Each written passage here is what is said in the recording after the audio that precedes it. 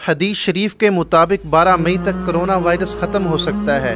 हदीस में आता है कि जब सुरैया सितारा आसमान पर तुलू होता है तो ज़मीन से तमाम वबाई अमराज ख़त्म हो जाते हैं। और माहरीन फल्कियात के मुताबिक ये सुरैया सितारा 12 मई को आसमान पर तुलू होगा। यह हदीस मुस्ंद अहमद में है और इमाम बुखारी की शराइ पर सही है। इमाम कुर्तबी इस हदीस की तशरी में फरमाते हैं कि यह हमत अमली हर ज़माना के लिए है। अल्लाह ताली से दुआ है कि